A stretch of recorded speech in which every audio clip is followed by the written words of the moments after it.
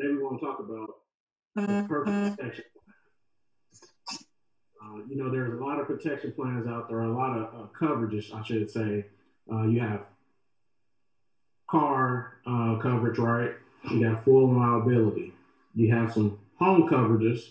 They vary. Um, you got to pay a deductible, large deductible. You know, at times you may not have if something was to happen. And you have health insurance. Um, and it has various tiers within your health insurance. It changes uh, often.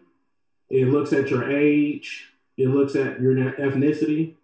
So we have all of these different coverages, but none of them really are perfect. Uh, you know, it's the one fit, one shoe fit all type deal, or one size fit all. Uh, one of the things that you know come to mind is Braden uh, medication. I have my health insurance, and I get a notice uh, in the mail that's saying, "Hey, Braden's uh, inhaler, his his emergency inhaler, will no longer be covered." Uh, well, I'm like, well, if this is the one thing that he has that's an emergency inhaler, kind of like him taking a full breathing treatment, you would think that that would be covered, right? You, you know, you would think the health insurance or health uh, the insurance company would not want um, anybody going to the hospital because that's more things they have to take care of. But they don't cover it. So I had to change insurance. You know, uh, I get another notice saying that Ashley medication is not covered. It's going to cost me 300 some dollars. So the, these insurance companies or different coverages don't cover everything you need, right? You take your car in, and guess what? Your insurance is not going to cover your brakes. Your insurance is not going to cover your, your oil change. And at times you can get an accident and they may not cover your car. So it's funny that we have all these quote unquote coverages or plans, but none of them are perfect. But today I want to talk about the things that are perfect. The plan that I want to talk about, it is perfect. It does what it should, what it's intended to do. No matter the situation, no matter who you are, no matter your age, this plan does not discriminate and it's going to cover what needs to be covered. Um, let's let's look at the, the definitions of a perfect protection plan. So you, you look at the word perfect. It says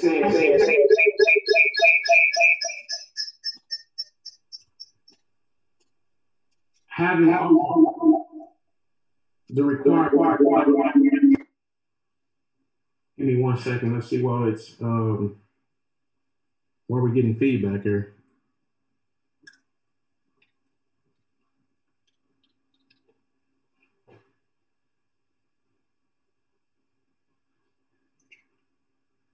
Uh, the perf having all the required or desirable element qualities or characteristics as good as it possibly can get, right? As good as it possibly can get. It says having all the required and desirable elements, qualities, and characteristics, as good as it can get. And then you look at protection. A person or thing that prevents some, someone or something from suffering harm or injury. So now we got the perfect protection, and, and then you, you go look at the plan. A detailed proposal for doing or achieving something. So it's already laid out, right? It, it, it, it's, it's a plan that's there to achieve something. So you got a perfect plan. It's, it's desirable. It, it, makes sure no harm come to you, and it's going to achieve something. And I'm, I'm going to tell you why I, I got to this. Uh, if you know me, I'm kind of um, a, a, a germaphobe, I, I would say. Um, so when COVID hit, uh, it was a, it was real hard for me uh, to, to deal with, right? You got to constantly have hand sanitizer. And, you know, if it was up to me, I'd have had a belt full of like hand sanitizer and wipes. And every time something like this, I might have been and wiping the kids down, right? If I could put the hand sanitizer around their mouth, it'd have been around their mouth. Um, so, uh, you know, the, the, we ended up putting our house up for sale during COVID, probably. Uh, it ended up being a blessing, but at the time, you know, with me being like that, every time somebody came in the house, we had to go clean the entire house. You know, the, the groceries, right? You, you were scared to go to the store. Um, so we had our groceries, uh, you know, brought to the car and we had boxes in the garage. I kid you not, my groceries sat in the garage for three days. You know, they said, hey, you know, these germs are, this bacteria fades away in three days and 72 hours. My groceries sat in the garage for three days. So we looked at, we timed it, and every three, you know, every so we, so far we would go get groceries because as I'm bringing those groceries in, right? So it's like you had to count your inventory in your refrigerator and make sure you had enough for three days before you can bring other food back in. It was a little much, um, but I'm going somewhere with this. So we ended up selling the house, and I ended up we ended up moving, and I ended up uh, here recently. I ended up getting an extra storage and I called the lady up and I, I got a storage. I'm trying to plan for things for the new house, right? Buying things and putting it in storage.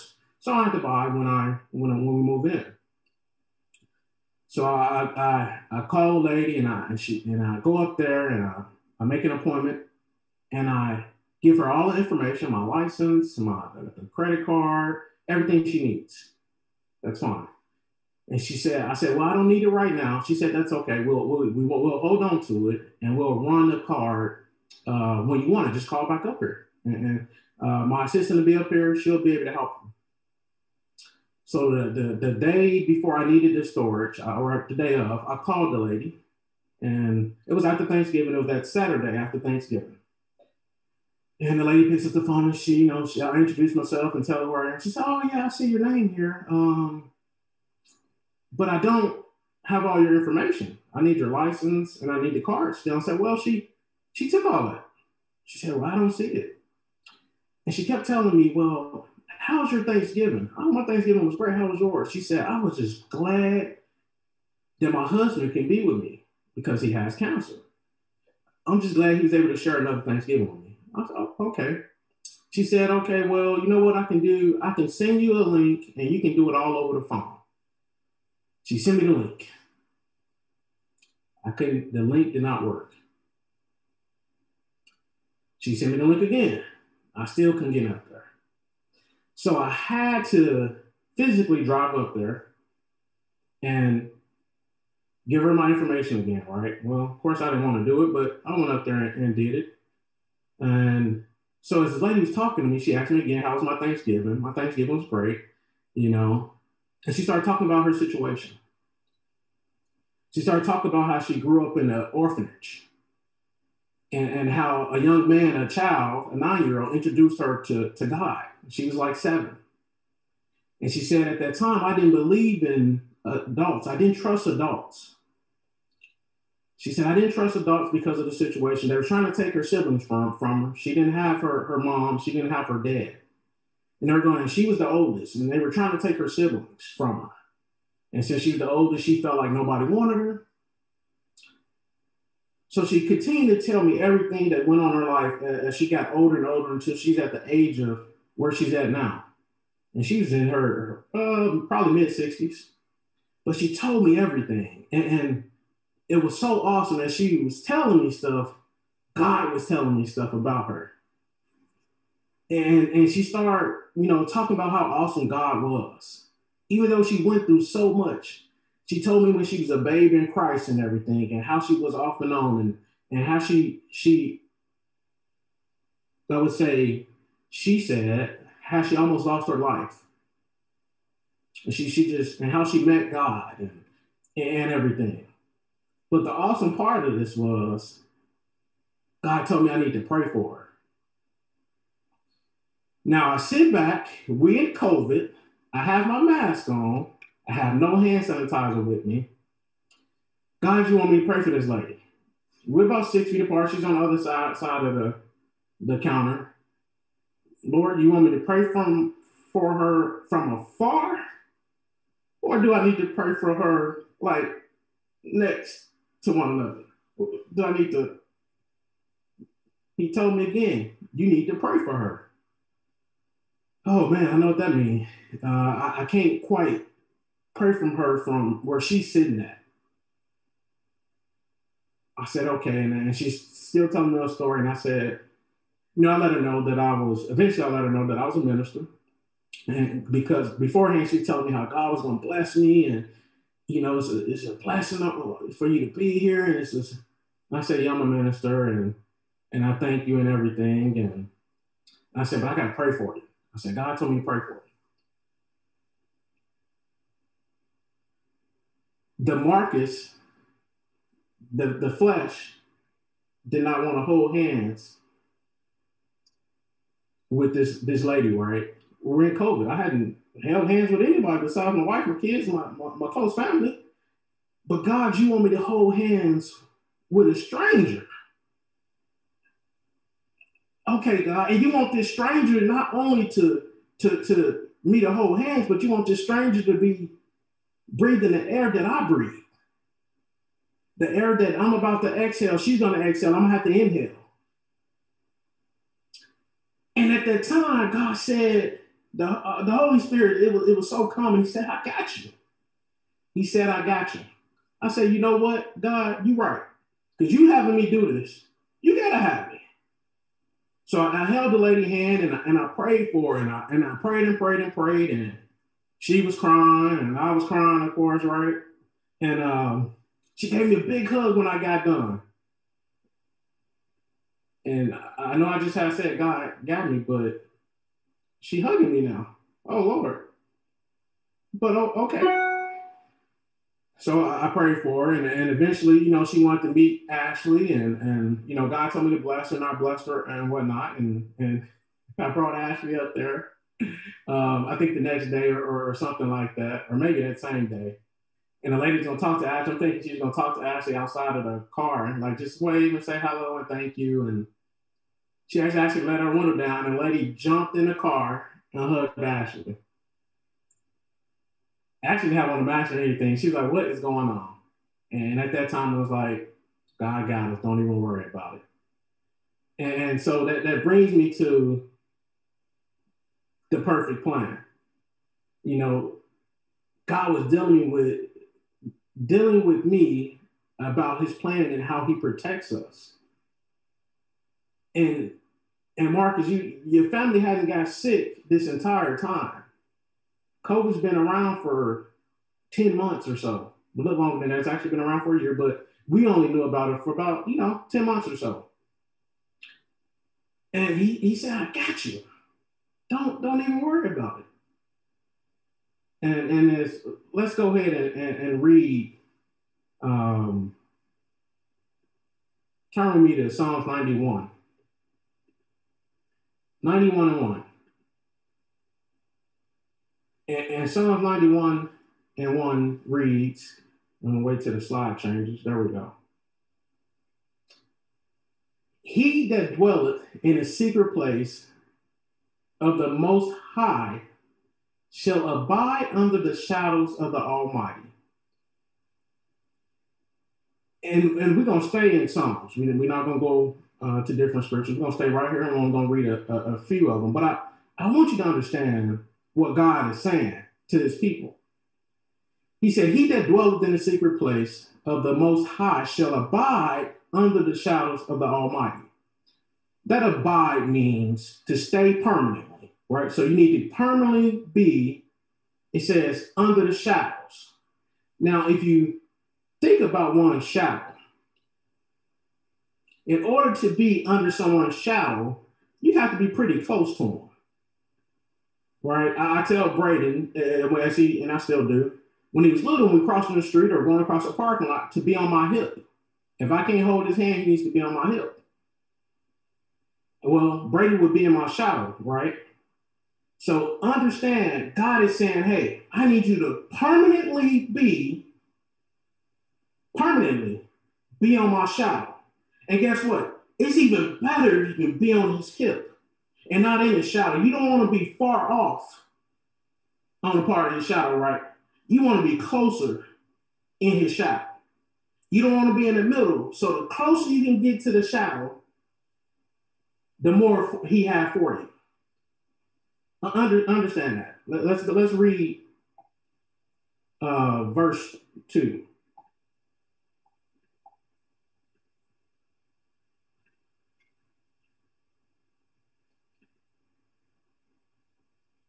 Okay. Verse 2 says, And I will say to the Lord, He is my refuge, He is my fortress, my God, in Him will I trust. We're going to look at the words refuge and fortress. Now, I'm going to let you know Moses composed Psalms 91. And, and you, you have to think about it Moses' story. Moses was a, a, a babe, and, and his mother had to put him in a, in a, in a river, right? Because the, the Pharaoh wanted to kill all the, the children because it was more of the Hebrews than it was of the Egyptians. So in order to to, to get rid of the population, you got to kill all the males. That way you can have any more kids, right? But if you look through it, Moses ended up being given away. Uh, the Pharaoh family ended up finding him. Moses, as a child, his mother actually took care of him. Uh, to, to, if, if you didn't know that. Um, Moses ended up killing someone because he seen uh, uh, one of the Hebrews being beat. Moses ended up killing someone because he seen the Hebrews being beat. The lady ended up telling on Moses, the one he saved, ended up telling on him.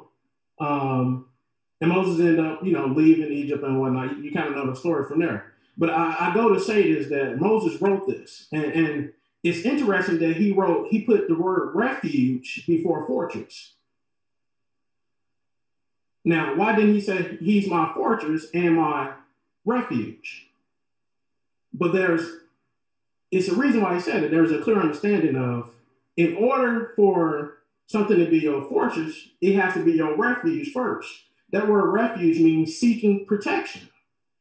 So I can't have something being my fortress without it being my refuge first. And, and the word fortress means it's my defense, it's my stronghold. So Moses said, God, He's my shelter. He's my stronghold. It's fortified. And in him I will trust. And, and I was going to say this part later on and somewhere in my message, but you know, I spoke to my mother in law uh, earlier this week. And, and she called up and she was kind of nervous. You can hear it in her voice. And, and she went over a family member house and, and the entire house had came down with COVID. And she was going over there to see how her brother was doing and whatnot. But she didn't know that everybody had COVID. And my, my mother-in-law called up here and she was she was concerned. I, I could hear it in her voice. But it bothered me that she was that concerned. And, and, you know, she's talking to, to Ashley and, and, her son, and and I just I just wanted to jump in and say, Mama, you don't have to worry about it. I said, God got you. He, he got you covered. You don't have to worry about anything. And so for for children of Christ, his sons, you got to understand that God is your refuge. He is your fortress. No matter the situation, he, he, he's with us. Now, let's read uh, verse 3.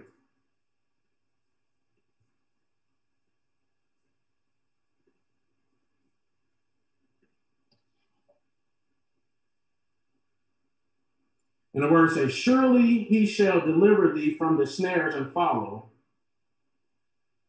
the snares of the follower, and from the nuisance ple- pleasance, pestilence, sorry. So you, you you're looking at that word deliver. It's a very, you know, common word. It's very calming and, and you know, God will deliver thee. But the, the word actually means it, it's it looks calm on paper, but what the word means is he's gonna snatch. It, that's a violent thing, right? If you snatch someone. So what God is saying here is when the enemy comes to try to trap you, when there's a trap, when it, when it, when people come against you, when when they're trying to trap you, when there's things going on, plays going on around you, he said he's going to snatch you from those things. That was very interesting to me to understand. No matter the circumstance, he said, "Hey, He's your refuge. He's your fortress. And when the enemy comes, he's going to snatch you from harm. So as, Christians, we have to understand that God got you. Not only is he your fortress. So when I'm with him, I'm, I'm and I'm always with him, right? Uh, he's my fortress. He, he's when I'm a fortress, I'm, I'm behind. I'm covered. The enemy's on the other side. But when I go out, at times God had to snatch us from what the enemy's trying to do. You can't see at times how many times God has to snatch you from situations, from the enemy traps. Look here. As the man at a house, I can protect Ashley and my family at home, right? I, I can do my best to protect them. But I can't protect my children when they go to school. I can't protect Ashley when she's traveling. I can't protect them when they go to the grocery store. The only person that can protect them is God. That's it. There's nothing I can do but pray and ask God to protect them. But He's our, our protector, He's our deliverer, He's our snatcher. When I said that word deliver, He'll snatch them out of harm's way. And as many times he, He's He's moved on your behalf without you knowing that He snatched you out of harm's way. Let's let's uh, read four. And I'm almost finished. Give me about five more minutes of your time and, and we'll be closing out. Um, and four reads, He shall cover thee with his feathers, and under his wings shalt thou trust. His truth shall be thou shield and buckler. Now he's going to cover me under the feathers, under his feathers. Other verses say pinions. I'm under his wings, and there's trust in his wings, right? It, it, it's trust. His truth shall be thy shield and buckler. Now, if you think about those three things in that one verse, he's going to cover me with his feathers.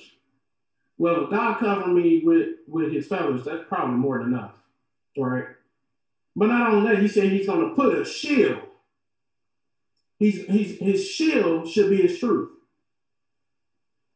The truth is, his word's going to be my shield. If you understand it, he said his word can't turn back void, right? If it's speaking, if he's speaking, it's gonna come to pass. But but that wasn't enough. He said, not only that, then I'm gonna cover you my, my feathers, I got a shield for you as well, but I also got a buckler. So, uh, you know, me imagining God's shield, it's, you know, his feathers is probably pretty big, right? But then he got this big old shield he's to cover me with. He said, Well, God, that's probably more than enough, right? He said, No, but then I got a buckler, and a buckler is another shield that the, when they was in the army, they would wear a shield on their arm just in case they lost their big shield. They got they got a shield to protect themselves. So he said he's going to do, he's going to cover you with his feathers, he's going to shield you, and he's going to have a buckler for you, a, another shield. At the end of it all, God said, You don't have to worry about it. I got you covered. Now that's a protection plan. He said, Hey, all I'm asking you to do is dwell in a secret place with me Get to know me. Spend time with me. And as you get to know me, guess what? You got to be in my shadow. You have to be in my shadow as you spend time with me and you get to know me. Moses spent plenty of time with God. Moses was definitely in his shadow. Moses wrote this, saying that he was all alone by himself. He didn't have nobody. The Egyptians was after him. His sister and brother at times went against him. The Hebrews is after him. I'm trying to lead you out of Egypt, and you murmur and complain about everything I do. As an individual, Marcus, I'd be like, okay, uh, well, you know what, y'all can stay here. I'm gone. But Moses understood what he had to do even better yet, Moses wrote a song about it, right? He wrote how God continued protected him, continued to cover him through everything that he'd been through. So, so I would say this. Remember what God has brought you through. And write down your song to God, not to me, not to apostle, not to your spouse, but write it down like Moses did. And your words don't have to be profound or anything. Let it come from the heart. Letting God know who He is and that you understand what He's done for you. Write down your song. And if you need some help, go back to Psalm 91 and 1 and start there. Use the word refuge, how, how he was your refuge, how he was your fortress in, in, in situations. I got plenty of stories to tell you where, where he protected us, where he covered us from the enemy. Plenty. Where at times you would be stressed out, at times I would be stressed out because of things my wife going through, not even things I'm going through.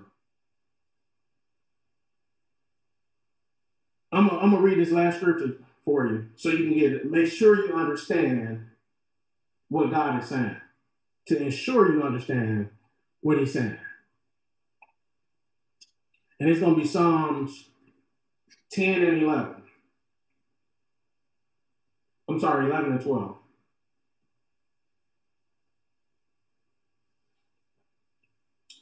And, and it reads, For he shall give his angels charge over thee, to keep thee in all thy ways.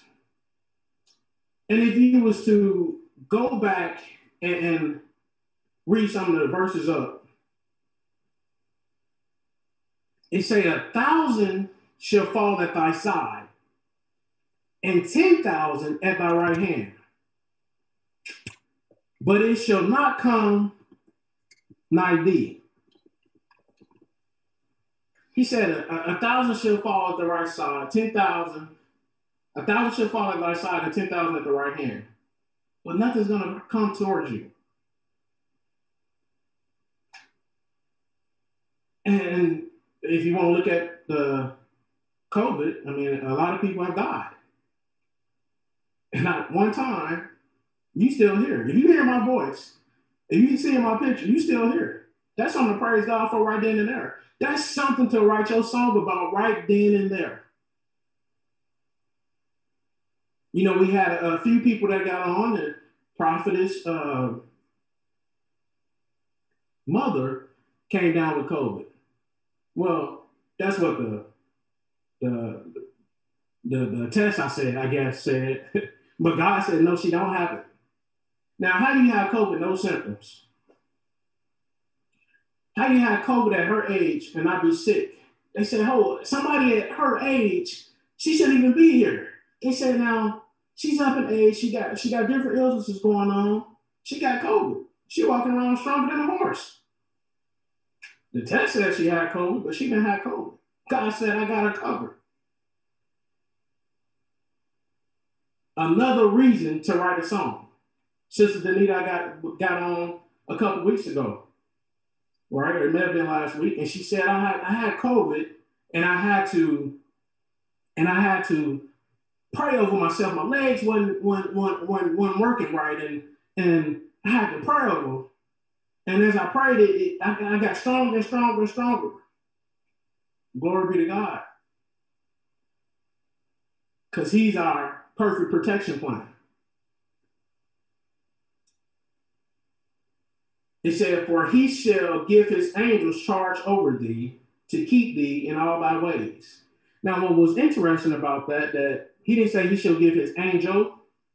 You would think one angel would be more than enough.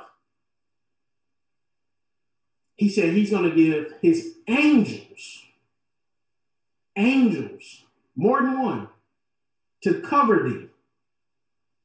And then they brought me back to Elijah and the servant. And as they was coming after Elijah, and, and the servant said, Oh man, are we surrounded. The servant had to think, oh, they about to kill us. Elijah, here I am following you. You about to get me killed. And Elijah prayed and said, Lord, open thy eyes, open the servant eyes, that he can see that it's more of us than them. So you have to understand that as long as you in God's shadow, it's going to always be more of us than them. It's going to always be more of us than the enemy. It's going to be always be more of us than those that's cursing your name, that's using you, that's backstabbing. It's going to always be more of us than them. So why are you worried? There's no reason to worry. As long as you're in his shadow, and we know how we got to get in his shadow, you don't have nothing to worry about. He gonna cover you with his, with his feathers. He's gonna cover you with his shield. He's gonna cover you with his buckler. And he got angels coming down, not one, but he put an S on the end. He got multiple angels coming down to cover you. He said there's more of us than them. If he said it, it's gonna come to pass. He said, I will never leave you nor forsake you.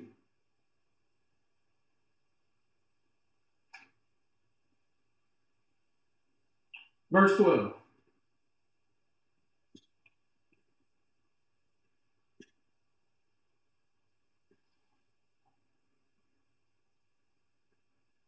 I'm going to close with this. Thy shall bear thee up in their hands, lest thou dash thy foot against a stone. I'm sorry, he said they shall bear. And once again, he's talking about his angels, right? I just wanted you to make, make sure you understood what he was saying. He didn't say, The angels should bear thee up in thy, their hands, unless thou dash thy foot against a stone. No. Now, I'm more sure on one angel is more than enough to, to, to, to put in, in his hands. But he said they, meaning more than one. Gonna keep you in their hands.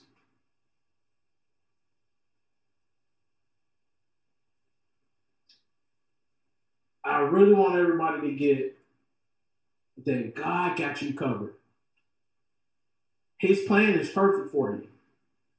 And yes, we're going to go through some things, right? Moses went through a lot of things in his life. At the end of the day, guess what? God still had him covered. Moses had an entire army, an entire nation after him. One man. He had him covered. David had Saul, Saul after him. He was covered.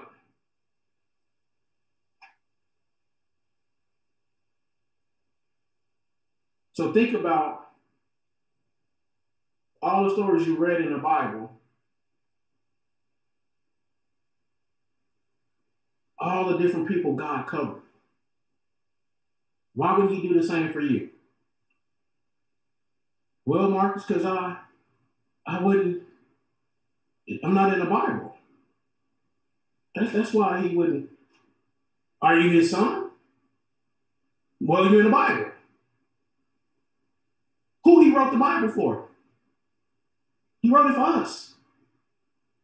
Not because he didn't care about you, because he wanted you to understand everything he would do to protect you. He wrote a big book of instructions, of covenants, of benefits for you so that you can understand everything that he had for you. And all he's asking you to do is continue to follow after him. Continue to spend time with him. Make sure that you're giving him the glory. Make sure you're giving him the honor. He didn't tell you life was going to be easy. He told you that if they're against Jesus, they're going to be against you. But he had Jesus too, didn't he? Jesus said he can bring down a, a, a legion of angels. Peter wanted to cut the man. Don't you know I can call a, a whole army of angels down here if I wanted to? Jesus didn't say he can call down one, did he? Now it was only a handful of men out there that that was in front of Jesus at the time. Jesus said, "Don't you know I can call a, a whole army of angels down here?"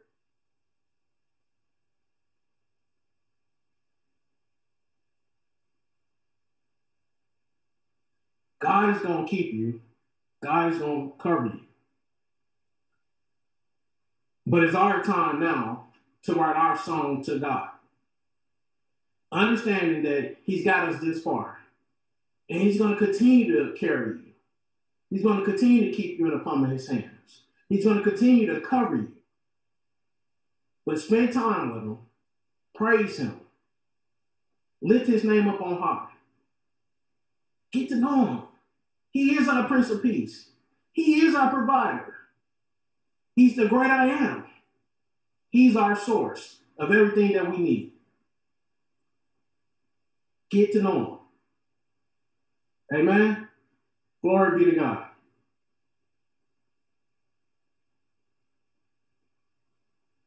The doors of the church are open. If you need prayer, if you want to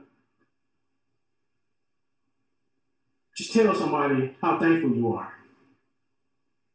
What God's brought you through. If you want somebody to just pray with you. If you want somebody to just pray with you. Uh, the numbers will be on your screen. Amen. Glory be to God.